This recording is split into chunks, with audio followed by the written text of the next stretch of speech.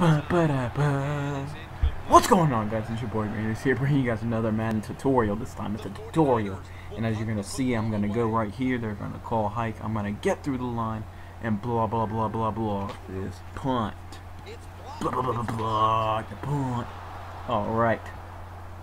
After they get tackled, I'm going to pause the video and show you guys a re replay. But who do you guys think is going to win the Super Bowl? It's the Broncos and the freaking Panthers. That's 15 and 1 Panthers in the regular season. But here you go, guys.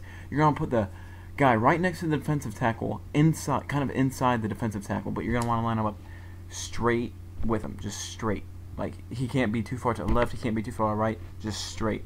And as you're going to see, as I rewind the video, when they call hike, you're going to want to hold down R2, L2, and R1, I believe, if you're on a PlayStation and he's just going to go burst through the line. Make sure you're using him, though, because the computer will miss the block because they're dumb or something. But, alright, guys. This was a pretty interesting tutorial that I made, but I'm pretty. I saw it somewhere else. Not sure where. I just felt like I should show you guys, but, yeah.